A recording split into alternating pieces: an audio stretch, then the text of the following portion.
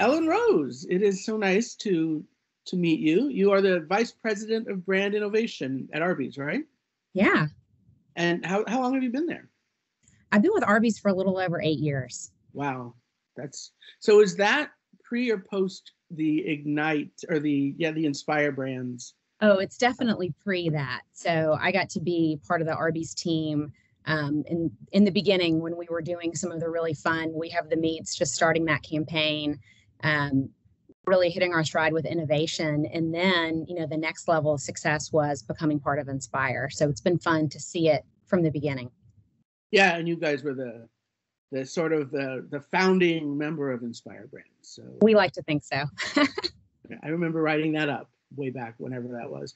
So you guys have have been doing so well uh, since uh, we have the meats and and on. So let's talk about what you guys have been doing over the past say year or so. You have some well. I'll let you do it. I was going to list some of the things, but you know, you're the expert. Okay. Yeah. No, we we have been doing really well, and you know, when COVID began, I think we were all very anxious about losing our um, same store sales streak. So we've been going, it was going to be our 10th, 10th year. Um, luckily, you know, we, we persevered and ended up having a really strong year. And we're on our way this year to 11 years of same store sales growth, which is just, um, which is just phenomenal, you know, especially in the QSR industry, which can tend to be a little cyclical. Uh, we've been able to really continue our momentum. Um, and we've done that in a variety of ways, but one of the biggest things has been our product innovation and then some of our cultural activations, um, which we've had a, a, few great successes this year so far. Uh, I guess if I could just think of what, uh, there's a handful that come to mind. So first was our RBs for RBs, which was uh, the letter R, the letter B, right? Exactly. So RBs for RBs meaning running backs, and so it, this was an idea that we had we've had for a long time, but we couldn't quite figure out how we were going to bring it to life. And when the uh, NIL came into play, so the name, Im- image, and likeness, we're like, okay, this is going to be our opportunity to do this. And we wanted to do it in a fun way. And we wanted to do it with college because we thought it could be a really cool way to impact um, all of those running backs out there. So we did a promotion where if they said they were going to Arby's, um, we would sponsor them and they would get $500. And we've had over 80 so far do that um, which has been just uh, we, which has been just really fun to see that, and it's been great. I have a lot of friends who you know watch a lot of college football, and I've been getting a lot of texts with like, "Wait, did Arby's just sponsor the running back on my team?" And the answer is, "Yeah, we did." So that was something that was super fun that we kicked off this fall. Um, and then we went right into our new uh, real country style rib. And so this was um, really playing off the success of our smokehouse platform. So we have a great partnership with Sadler's. They're a smokehouse in East Texas, and we've had our brisket on our menu since about 2013. And that was one of the first, I guess, innovative products that we did that really fueled our success with the We Have the Meats campaign. So we um, developed with them another product that is essentially a pork rib product that is meant to be an elevated version of another version of a rib thing that's out in QSR. And uh, we did that just recently in October, and it was it was a really huge success. We did some fun stuff with these things called smoked sweats, um, which was actually the sweatsuit that we had smoked at Sadler's in the smoker, so it smelled like our product. Um, and those things sold out I, within like as soon as we launched them, they were sold out. So that was a really fun activation that we just did. So those are the meat sweats that you then smoked. Yeah. So we had the meat sweats first, mm-hmm. um, which were the sweats that looked like had a bunch of different meat all over it, and then the, we I, came I up with a suit of the meat sweats. I, I, wear it periodically. Oh, good. Okay. Well, see, they're so hard to get your hands on. I don't even have any of those. Um, so you met you're special. so, on Instagram, you will see me with. Uh, in the I love that yeah so then we did basically these smoke sweats. So they were they weren't meat themed so to speak but they were like a solid color very on trend with what you're seeing right now. I think everybody's wearing sort of these solid color sweatsuits. And then we smoked them so they smelled like smoked meat which is pretty cool. And they sold out immediately. Yeah. yeah. I don't even i don't even know if they lasted an hour honestly. Yeah people are are into that they're into they're into sweats, they're into smoke, they're into Arby's. So right. Was... smart too. Like, I mean, how many sweats did you have? Like, was it an actual big money maker or more of a promotional thing or?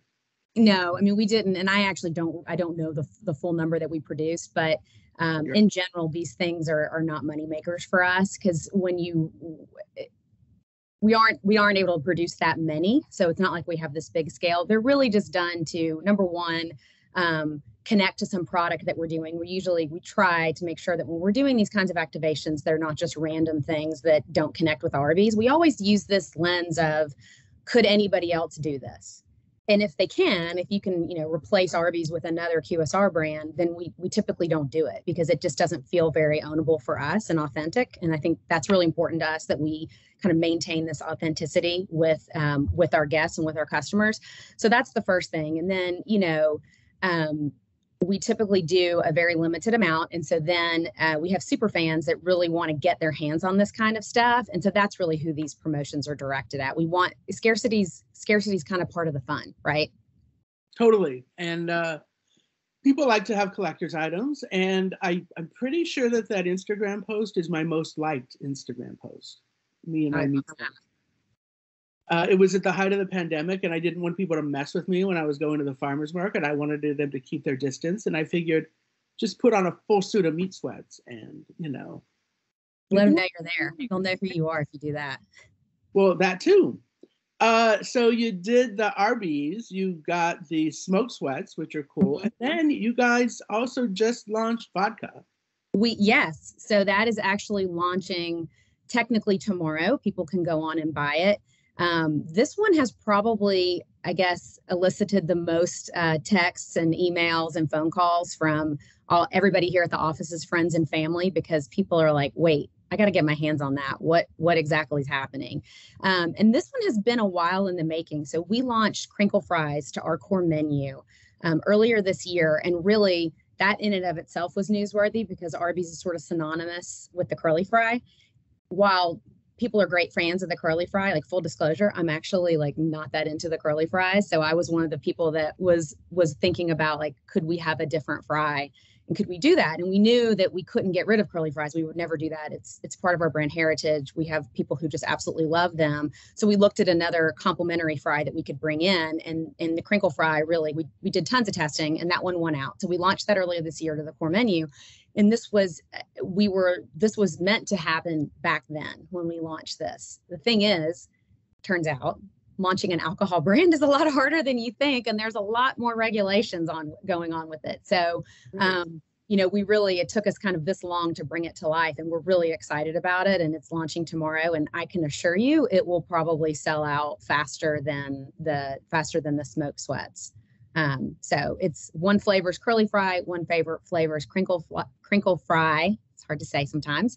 Um, and we worked with uh, a distillery to get it done, and we've got some, um, you know, awesome recipes uh, with Bloody Marys and those kinds of things that we're going to be, you know, putting out there. I've actually, I think, only had the uh, curly fries once because I'm such a big fan of the potato cakes that I get potato cakes when I mm. go there. Well, so, you know, it's funny. Before we launched them, I was I never I didn't get a lot of fries at Arby's, so I would always get something else as my side, or I wouldn't get a side, um, which is like the insight, right? There were just certain people out there who weren't going to get a side, weren't going to get fries, and now that we have crinkle fry, I I love and hate them at the same time because I'm so addicted to them. Now it's like I have to get my crinkle fries. Well, if only you guys had liquor licenses, you could be selling vodka at your at your Arby's locations. Although, True. I don't know if there'd be that much uptake since like even even in fast casual they they have difficulties uh, selling alcohol.